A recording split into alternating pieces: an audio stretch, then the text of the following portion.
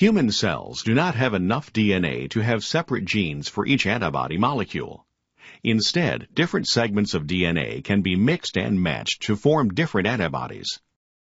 Light chains are made from V and J segments in the variable region and a constant region segment, whereas heavy chains are made from V, D, and J segments in the variable region and one of five different constant region segments. As the lymphocyte divides during maturation, its genes are rearranged. DNA sequences are assembled by the random selection of V and J gene segments for the light chains and V, D, and J segments for the heavy chains. The constant region of the molecule is encoded by a single C or constant gene segment for light chains and five different constant regions for heavy chains.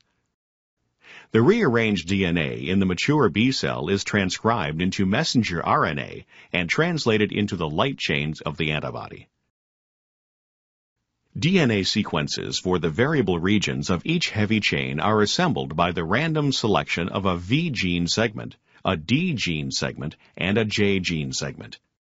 The genes for the constant regions of heavy H chains have Greek letters, designating IgG gamma, IgM mu, IgA alpha, IgE epsilon, and IgD delta. The DNA in the mature B cell is transcribed and translated into the heavy chain protein, The light chains are then attached to the heavy chains to form the functional antibody.